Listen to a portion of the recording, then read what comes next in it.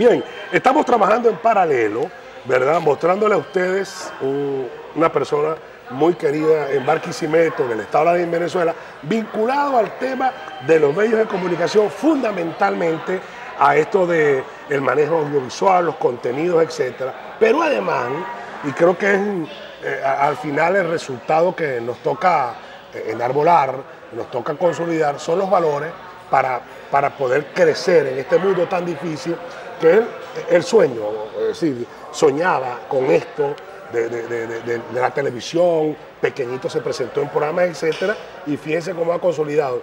La disciplina, que sé con, que es un valor fundamental para poder ser exitoso en la vida, sé que al principio Diego González, ¿verdad? Le decían, Diego, disciplina, y fíjense ahora cómo necesariamente tiene que ser disciplinario, porque ahora es productor y es empresario, lo cual, si no hay disciplina, esto quiebra.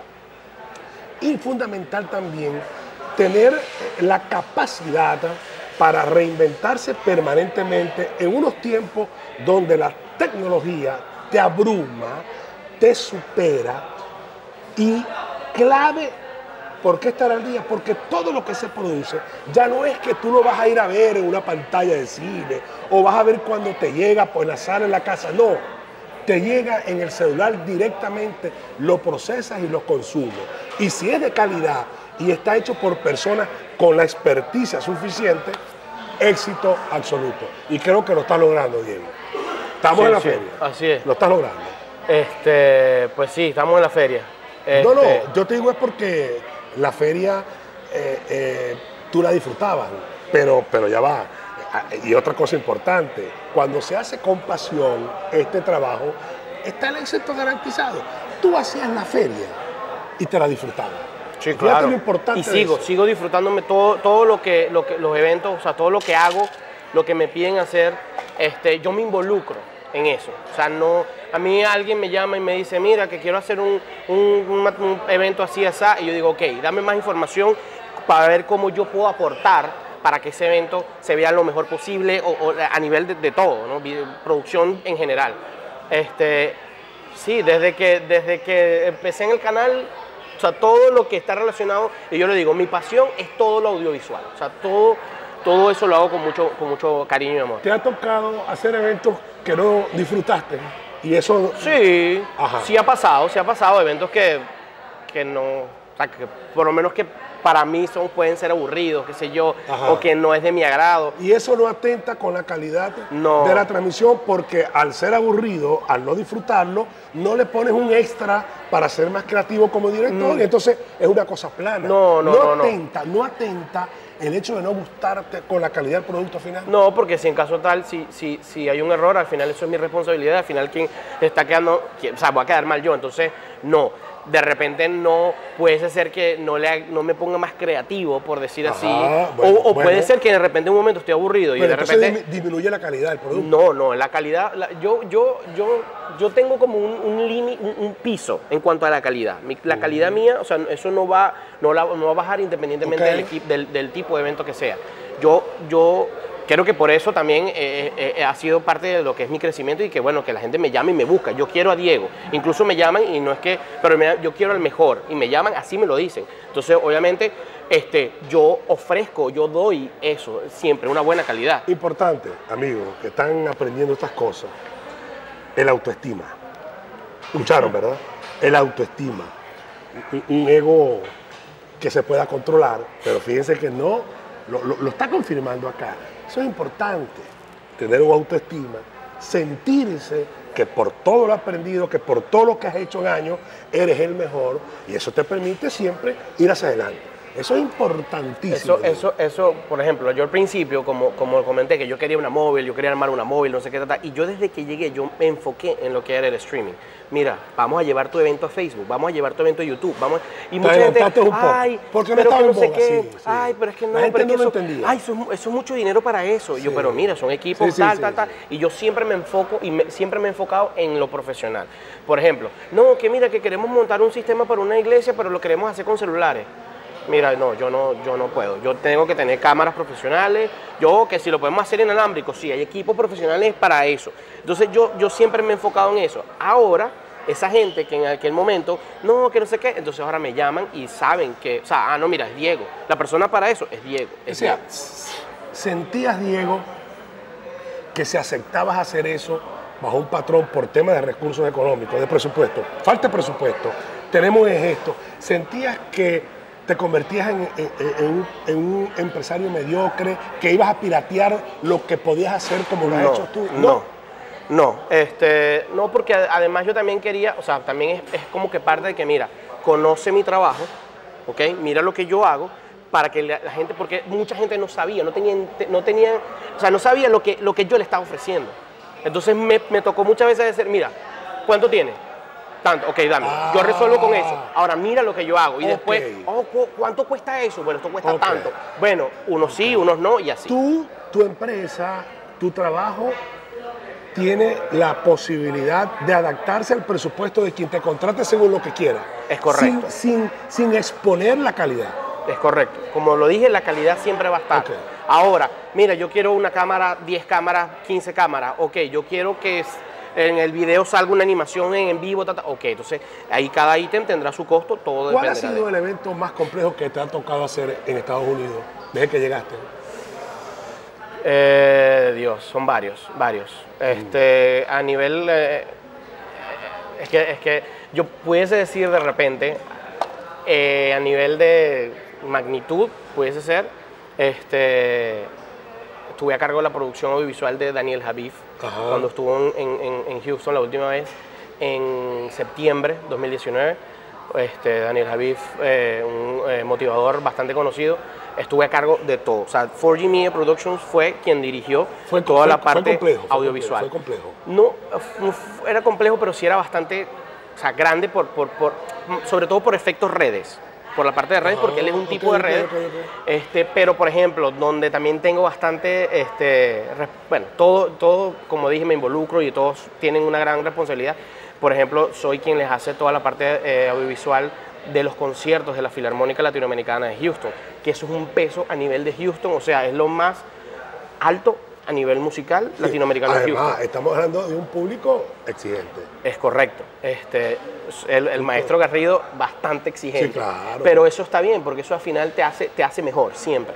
O sea, yo, yo, yo trato de siempre de estar pendiente de todos los detalles, pero hay cosas que a veces uno no ve. Y sobre todo él de repente a nivel musical, mira, esto está así. Ah, bueno, entonces ahí vamos haciendo ajustes. Diego, el ser humano tiene sus defectos y sus virtudes.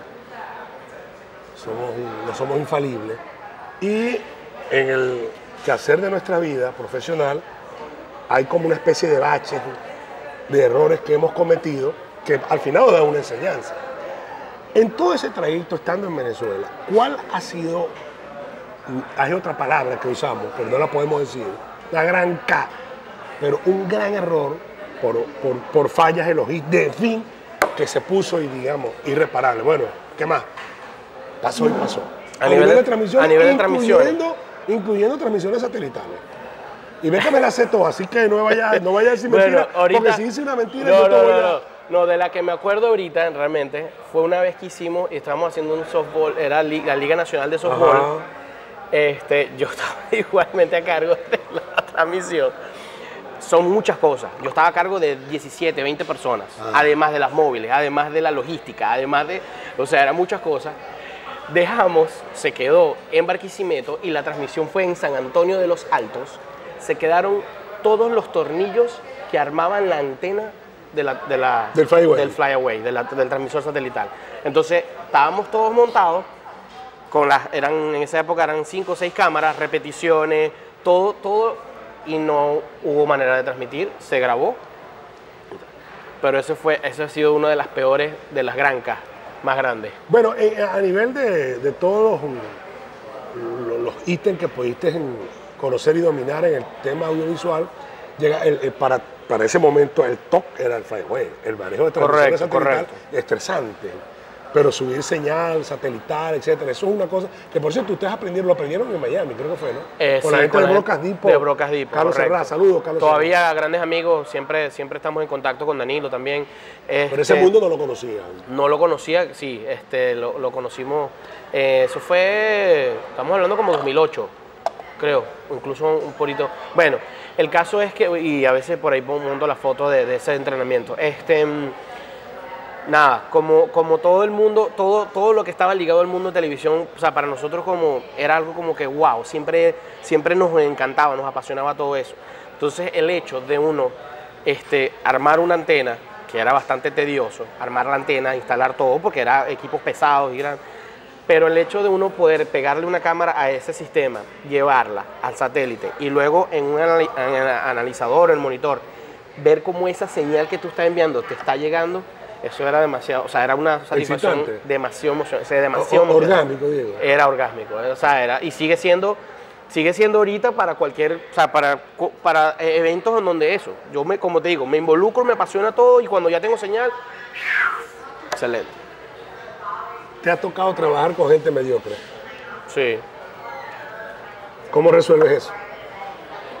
Bueno, este, nada, saber, saber llevar. He aprendido contigo, o, o- o- o- con- eh, o sea, go- trabajando contigo, aprendido mucho a cómo manejar la gente, cómo saberla llevar y cómo, ¿Cómo es eso? cómo, bueno, a nivel de, bueno, de- de- bueno, por, ¿Por qué te bueno, por, por, por, por, por tu característica de- de eso, pues, de cómo saber manejar a la gente psicológicamente, de todo, este, he aprendido y al final, bueno, si tengo que trabajar con esa persona, uno la, la- la- la llevo ahí como sea y, y ya, pues, pero... Y, y también me puede pasar de que yo simplemente no quiero trabajar con alguien. Y ya. Me ha pasado, sí. De repente no me importa lo que esté apagando porque no, no, me, no me siento gusto o qué sé yo. Diego, ¿a dónde va todo esto de las telecomunicaciones, del 2.0, 3.0, streaming en vivo?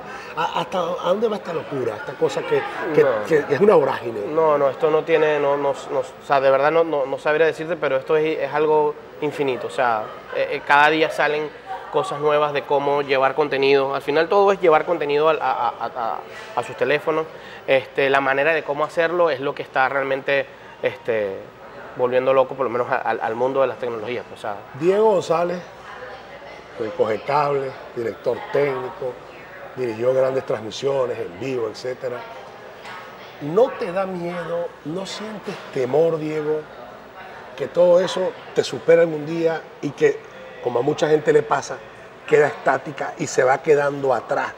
Y, por descuido, por falta de inversión, por falta de visión. ¿No crees que, no sientes que eso te puede pasar? Mira, yo, yo me considero una persona visionaria. Siempre, yo siempre estoy viendo más allá. Yo siempre, o sea, siempre busco estar en, en- en- en lo actual, ¿no? Pero también todo este, depende de presupuesto, depende de función, o sea, si es algo que realmente me va a funcionar o no. Si yo tengo un equipo con el que hago un trabajo, ah, pero salió esto, que no sé qué, y que hace, si me va a hacer lo mismo, entonces eso de repente a mí no me, o sea, me- me quedo con lo- sigo con lo que, con lo que tengo. Siempre estoy buscando más allá. Este, 28. sí soy, sí pudiese ser de repente cerrado para ciertas cosas, negativo. Puedo ser cerrado para ciertas cosas. O sea, por ejemplo, Dije hay- 20 John Frank, Israel, Iván, dije 28, miró y dijo negativo. Sigue. este, como lo había comentado, a mí me gusta todo que sea muy pro. Entonces, hay gente que, no, mira, que salió este, que un software hace todo, que con un iPad tal cosa. No. De todas maneras, te hago una pregunta porque le ha pasado a gente que incluso ha sido vanguardistas en, en el tema de la tecnología, fiebrosos que llaman, siempre están un paso adelante, pero de pronto, por un tema, ojo, ser humano, atención, la decadencia del ser humano, otro aspecto importante, cuando el hombre entra en decadencia, todas estas cosas le pasan por encima. Entonces, Diego, ¿qué edad tienes tú? 36. 36, de pronto se consigue ah, el tema del amor, y entonces a lo que tenga eh, 45 años, en fin, entonces todas esas cosas, el, el entorno te puede llevar No. a, a eso, ¿no? No digo que no, no digo que no, pero no, pero, pero creo que no va a ser así. Por como te digo, yo soy apasionado con Ojalá. todo esto. Siempre voy a estar, incluso mi empresa, mi empresa ha venido creciendo, gracias a Dios. a- incluso ahorita en este momento me siento como cuando antes que empezara el COVID. 4G Media venía así, así, así, llegó el COVID, pum, paró, aunque hicimos ah, eh, toda esta experiencia de lo que fue, de lo que es la- el streaming, me permitió durante la pandemia hacer transmisiones virtuales a nivel mundial, que eso me ayudó a mantenerme también y este eh, se me fue la cosa. Ahí está, eso puede pasar, pero en vivo eso no puede pasar. No puede pasar. Si tú estás transmitiendo No en vivo no un concierto de. Calle 13 o de Don Omar y te pasa ese laxus que te acaba de pasar a ti, ¿sabes por qué? Porque ya estás pendiente de lo que tienes que ir montando y por eso esta entrevista ya la vamos a redondear. Pero eso en vivo no puede pasar. En una grabación, tú paras, párame ahí, vamos otra vez. En vivo no te puede pasar. Entonces, otro elemento importante a resaltar en esta entrevista, concentración. Lo que estamos haciendo aquí, nos concentramos y no puede haber un bache como el Mira, en un ocurrir. evento- en porque un- tienes el foco en la presión atrás. En, en un evento, en un evento hay que estar hablando con los camarógrafos, hay que estar hablando con los productores, con los asistentes. Este, además de que estás hablando y pendiente de todo lo que está pasando, por el otro oído tienes que estar también escuchando lo que están hablando los moderadores o lo que está pasando afuera. Todas esas cosas, todo eso hay que estar pendiente. Y eso lo, me, me- afinó mi oído fue estando en máster en máster. en Máster en Somos Televisión. ¿Por qué? Porque tenía que estar pendiente de lo que está saliendo en vivo en el canal, además estar pendiente de BTV para que no se por si hay una cadena y pendiente de otros canales que estábamos ahí. Otro valor importante para ir finalizando, Diego, no sé cómo lo has manejado tú, pero tú eres una persona muy impaciente y para esto hay que tener paciencia. ¿Cómo resolviste ese problema? No, no, no, eh, no lo veo como un problema, o sea, es depende, es depende. Todo tiene su, o sea, por lo menos aquí en este país, este, ya, ya me acordé lo que, Ajá, lo que el iba a Laxus, cerrar ya. el Laxus. El ajá, Laxus ya ajá. cerró y volvió. Pero estamos en vivo, entonces Pero repáralo. entonces, ¿qué pasó? Ajá. No, ya. Que en, en este país, por lo menos para la parte de even- eventos, este, se trabaja con mucho tiempo. ¿ok? Ujú. Entonces aquí, mira, el evento, ¿a qué, hora, ¿a qué hora vamos en vivo? ¿A qué hora abren las puertas o lo que sea? Ah, bueno, a las 7 de la noche, ok. Yo puedo llegar a las 4, a las 2, a la, no sé. O sea, yo me, yo me voy según organizando el evento de de... hoy, de esta noche, y a la hora que es, fíjate la hora que es, ¿estás bien con el tiempo? Sí, Ok, ok.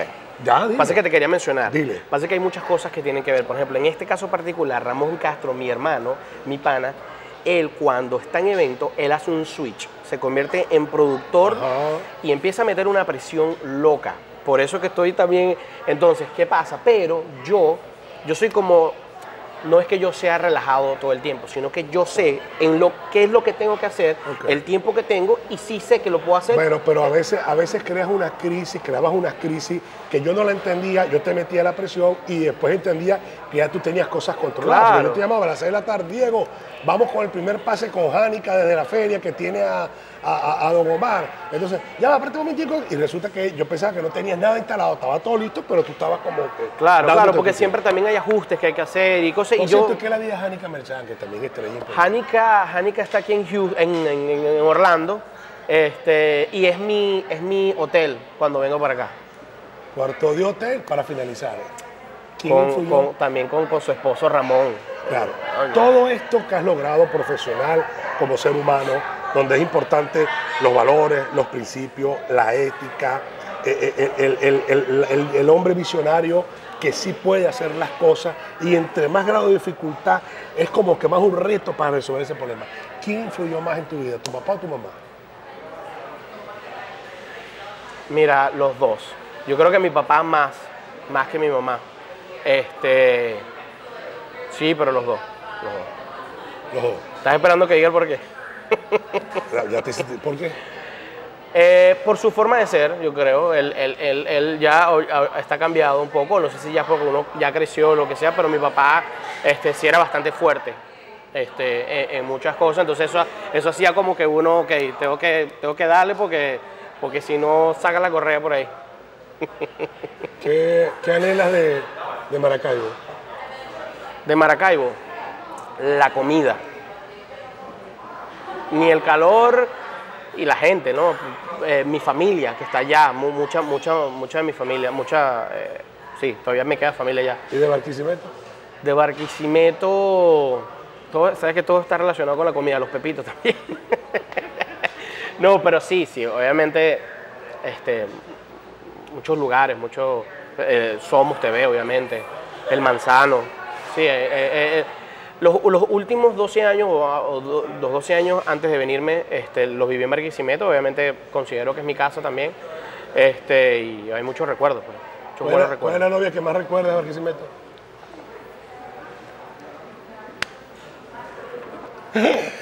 Este, ya va, esta ay. es- eh, no, no, no me acuerdo. Diego, eh, te voy a permitir a través de este programa especial donde, ¿Cuánto tiempo, perdón? sí, Ok. Porque te voy a preguntar por algunas Eh, personas. siento, que, siento que falta más por Sí, decir, claro. pero ajá. Claro, porque el año que viene en el Open, en el Open, donde vienen los equipos de Venezuela, vamos a hacer la, la segunda parte y vas a participar en la transmisión en vivo de, de los Juegos de Venezuela. Eh, eh, vi- vimos en paralelo, pudimos escuchar a través de Diego González, experto en esto de- del mundo audiovisual, en paralelo el, el criterio profesional es un crecimiento sostenido, ¿no? Desde un cable sulfatado, quitarle el sulfato para que pueda conectar señal y de ahí yendo poco a poco, paso a paso, aprendiendo hasta poder hoy tener el control a través de su propia empresa y poner en escena eventos importantes y los valores del ser humano. Es decir, tú no puedes ser exitoso en tu vida profesional porque seas un buen director, porque tengas los mejores equipos, si como persona no eres buena gente. ¿Entiendes? Eso, eso es clave, los valores que se forman en el hogar. Y sé que todos esos aspectos están en este, en este paquete, en este, en este hombre emprendedor. Y por eso pues estás condenado a- al éxito. Te voy a preguntar por varias personas Ok. y me las defines con algunas palabras. yo sé que yo siempre, yo siempre o dirigía o siempre que grabo o veo el programa, esa, esa parte yo me la imagino, así como que cuando, cuando a mí me toque ¿Cómo responder? esto. Sí, ajá, adelante, vamos a ver. Pero ¿cómo responder? Dices tú. o sea, Sí, sí, exacto, pues que responder en base a que me pregunten por alguien que no sé quién va a ser, pues no sé quién. Pero dale, dale, está bien, estoy listo. Dale, listo. Estoy listo para salir corriendo. Ok. Tío Frank Quintero. Hermano, mi compadre, mi, mi pana, mi, que lo extraño bastante y lo voy a ver pronto, en octubre. Iván Anzola. Iván Anzola, motor, trabajador, un cohete. Así son las respuestas, ¿no? Palabritas así o Como quieres tú más. quieras, no, no, como tú quieras, ya estamos terminando. Mira, ese es otro que no le dice que no a nada. Ese es un duro, un duro. Tu mamá, Juani. Mi mamá, este, una dura también, este, que la amo. No sé, una dura. Tu hijo, Andrés David. mi hijo, mi corazón, mi vida, mi, mi todo, mi todo. Sí. ¿Cómo estás sentimentalmente ahorita? Bien, estoy bien. ¿Qué para aprender un poquito de esto, ¿qué significa estar bien? ¿Estar acompañado o no estar acompañado? No, no, estoy acompañado de mucha gente bella y Ajá. hermosa, sentimentalmente a nivel de, de- de- de pareja, no. Este, pero bien. O sea, me siento bien, estoy bien con la mamá de Andrés, estamos, estamos bien todo. Con tu esposa que estás con la cual Con mi esposa, sí. Está bien, eres, es su amiga. ¿Es Somos amigos. Eso? Somos amigos, sí, sí, claro. ¿Eso, eso, es un- ¿Eso es automático o eso hay que construirlo? No, eso es al principio un trauma y después son grandes amigos. Sí, es correcto. Eso se, hab- se habló, se habló. Sobre todo por el, por, por, por el, por el bienestar de, de Andrés. Fluye la comunicación. Excelente. Mejor que antes. Si vas a Venezuela y te dicen tienes que ir a dos sitios, ¿ok? Primero uno y después el otro. Y te dicen tienes que ir a la Basílica y a Santa Rosa donde está la Divina Pastora. ¿A cuál de los dos sitios vas primero?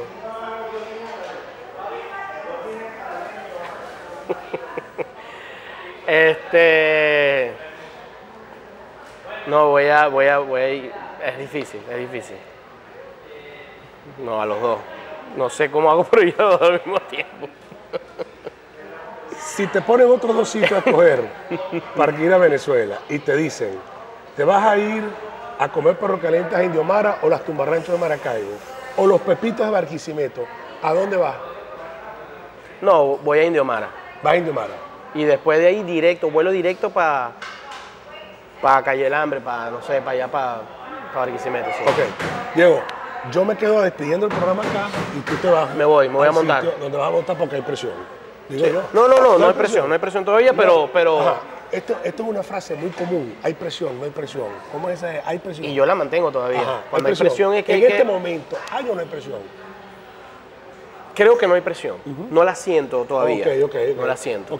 Pero a lo que llega allá puede que se dispare. Ok, entonces y fíjate se lo siguiente. Rompa el hidro. el- Cuando tú te vas para reloj. allá, yo hago una despedida y el camarógrafo Freddy, nuestro amigo Freddy, te va a mostrar y tú vas a hacer la seña. Parte de 4G Media también. Parte aquí Freddy. en Orlando. Entonces, vamos a despedir el programa con tu seña. Si es así, no hay presión. Si es así, hay presión. O, o puede ser así. O puede ser intermedio, O- o puede el, ser- el hidroneumático. Ajá. Ok, gracias Diego. Dios te cuide. Éxito. Ahora no importa, este es parte de las bendiciones, tranquilo. No hay problema. Diego se va, nosotros despedimos este programa especial. Diego anda montando y de verdad que es un placer. Primero porque uno se reencuentra con sus afectos y puede conversar con una informalidad para que fluya mejor la comunicación y incluso se mantenga la originalidad, lo auténtico de personajes como Diego, muy querido en Maracaibo, muy querido en Barquisimeto y muy respetado sobre todo en el ámbito de los medios de comunicación por la calidad y el criterio que impone a la hora de poner en escena eventos importantes político, cultural, religioso, artístico, etcétera, de los tantos que ha tocado dirigir. Usted tiene la palabra por Somos Televisión en todas nuestras plataformas y Diego nos va a hacer la señal desde allá para saber si hay presión o no hay presión. Parece que no hay presión, llévatela. Listo.